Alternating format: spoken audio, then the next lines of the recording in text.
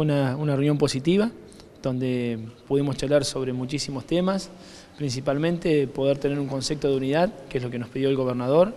eh, teniendo en cuenta cómo nació todo este proceso, cuando nos empezamos a juntar ya hace bastante tiempo junto con Ricardo, con Mariano, nosotros desde Treleu, de poder seguir trabajando en conjunto, viendo los temas que son relevantes hoy en día de cómo poder salir de la, de la crisis que estamos atravesando.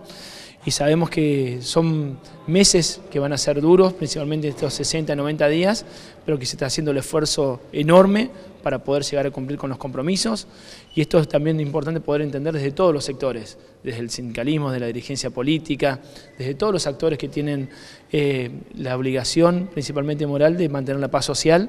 de que también tengamos la posibilidad de que los chicos vuelvan a, las aulas, que tengamos gestos de que cada uno tiene que empezar a ceder eh, ciertas eh, cuestiones que se fueron dando en el tiempo y hoy es un momento duro para todos, para el país, para la provincia y que si le va mal al gobierno de la provincia del Chubut se ven afectadas también las ciudades y eso es lo que estuvimos charlando, eh, tratando de, bueno, de poder tener una agenda en común, de poder ir avanzando sobre diferentes temas que nos lleven adelante y podamos sacar juntos esta situación. Seguramente nos tocará transitar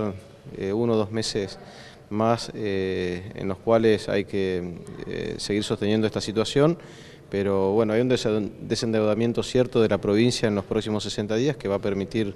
tener mayor oxígeno y poder cumplir en tiempo y forma con las obligaciones. Ahí su colega Maderna hablaba del llamado a la paz social, a los gremios, de bajar el tono del conflicto. ¿Ustedes se suman a eso, a tratar de hablar con los actores? para? Sí, es un poco eh, el planteo que, hacemos. Eh, la situación está dada así, hay eh, un escalonamiento en los pagos de los saberes de los empleados. Y bueno, obvio que pregonamos y tratamos de hacer de que los distintos sectores que están con algún tipo de medida de fuerza eh, vuelvan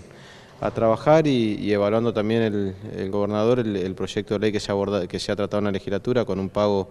de, intereses en, el atraso de los, eh, de los salarios, que si fuese así y el gobernador lo promulga, indudablemente no habría incumplimiento si se pagan intereses tampoco, pero bueno, no es lo ideal en un contexto de crisis, es parte también o resultado de la situación que estamos eh, atravesando los chubutenses hace unos meses atrás.